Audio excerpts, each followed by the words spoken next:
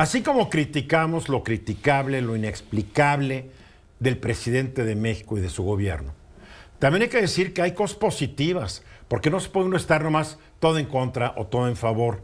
Eso ya raya en el fanatismo y en la tontería. Eh, es fuerte, es duro con una personalidad como la de López Obrador tratar de mantener la sintonía. ¿No? Eh, tratar de, a ver, esto está bien. Ya van algunas cosas que están bien, porque las hay. La semana pasada hubo, bastantes buenas noticias económicas. Nos dijeron que el indicador de confianza del consumidor en septiembre llegó a 46.8 su máximo nivel en cuatro años. El sentimiento de los consumidores cómo mejoró en cuanto a su situación financiera actual de sus hogares y su capacidad para realizar grandes compras. ¿Qué son grandes compras? Electrodomésticos grandotes, un refrigerador, una tele, todo esto, hasta un coche. Entonces, la gente se siente más tranquila. La gente siente que la situación macroeconómica actual del país es más favorable hay ciertas preocupaciones de que el año entrante las cosas no van a marchar tan bien. Pero hay un buen sentimiento. Yo hoy en un evento al que tuve que ir me encontré a varias personas que no aguantan a López Obrador. Les dije, bueno, ¿y cómo les va en la economía? No, bien, bien, bien. ¿Y por qué no, no le dan crédito al presidente? No, que el presidente... No, no, no. La verdad es que un gobierno también es responsable de que las cosas vayan bien o mal. Y este gobierno, la, economía está marchando bien. Otro dato, el indicador de confianza empresarial también subió en septiembre a 53.8. Mejoró el sentimiento en cuanto a la perspectiva de la inversión, la perspectiva económica futura del país y la actual situación financiera de las empresas. Sin embargo, las expectativas de las empresas a futuro está disminuyendo. ¿Por qué? Porque hay cierto temor de que el año 24 puede ser difícil, pero el 25 más. Otra buena señal. En septiembre la producción automotriz creció un 24% respecto a septiembre del año pasado. Y no solo eso, van 17 meses al hilo en que la industria automotriz, que es la principal exportadora de este país, ha ido en aumento. Entonces está bien. Ahora, hubo noticias negativas, pero que no son culpa del actual gobierno. Por ejemplo, en la semana pasada el peso se debilitó, fundamentalmente porque en Estados Unidos se anunció pues de que se crearon 336 mil nuevos empleos, muchísimos. Y uno diría, pero ¿qué tiene malo crear tantos empleos? Porque Estados Unidos lleva ya meses tratando de enfriar su economía para bajar el ritmo de crecimiento inflacionario. Y si se están creando tantos empleos, quiere decir que hay mucha gente ganando más dinero y los precios muy difícil que, que, bajen. Entonces, esta fue una mala noticia, tanto que la Reserva Federal de Estados Unidos dijo, estamos considerando un nuevo aumento a las tasas de interés. Claro, en Estados Unidos dicen, vamos a aumentar las tasas de interés, empieza la, la inquietud financiera y los dineros fuertes se empiezan a mover, se van algunos de México y eso le pega el peso.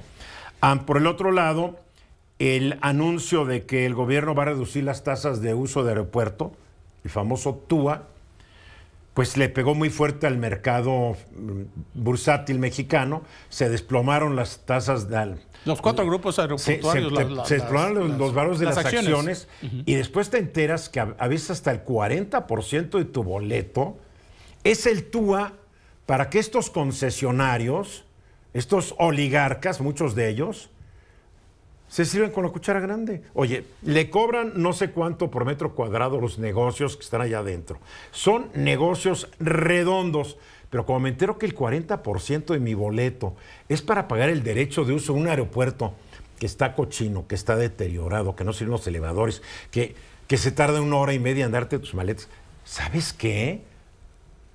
Digo, no puede ser. Creo que el derecho de uso de aeropuerto en Estados Unidos, en Nueva York son 20 dólares. No, pero además, Eduardo, fíjate, el TUA bajó los TUA de todos los aeropuertos, menos el de, el de Felipe Ángeles porque ya está bajo, muy bajo. Y el de la Ciudad de México. Porque uno está pagando el aeropuerto exactamente, que se acabó en Texcoco. exactamente. Y es altísimo el de la Ciudad de México. Ahora, hay un tip, ¿eh? Hay un tip que, que, Pero lo está muy bueno. de los concesionarios. Ah, no, por supuesto, por supuesto. Pero hay, hay un buen tip. El TUA, si la gente puede pagarlo hasta última hora, mejor. Te voy a decir en qué sentido. Normalmente, cuando tú cancelas un vuelo por cualquier circunstancia, ¿sí?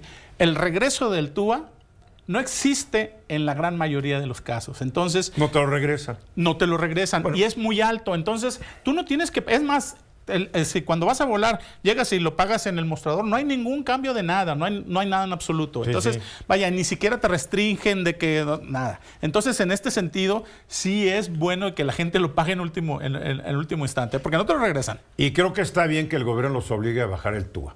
La verdad. Sí, está bien, pero porque lo hizo de una forma sin, sin vamos vaya, sorpresiva, ¿no?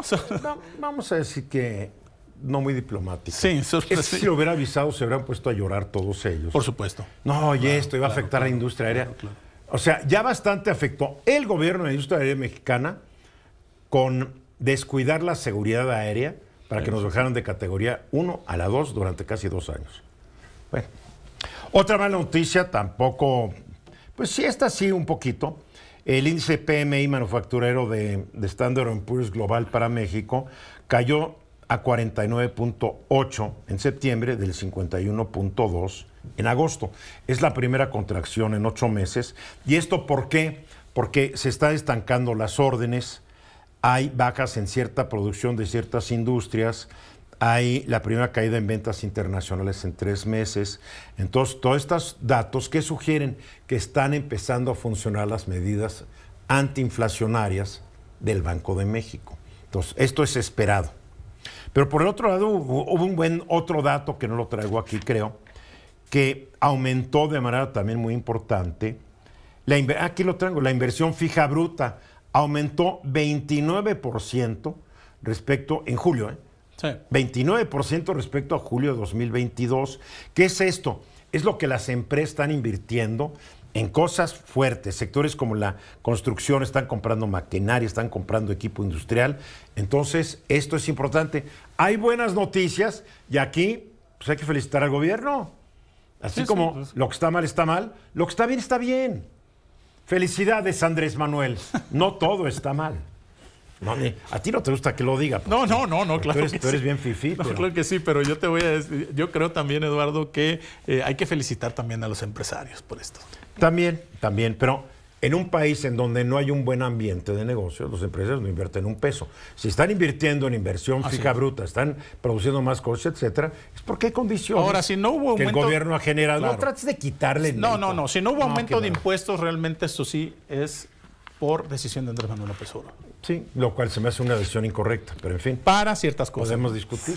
Mensajes, regresamos.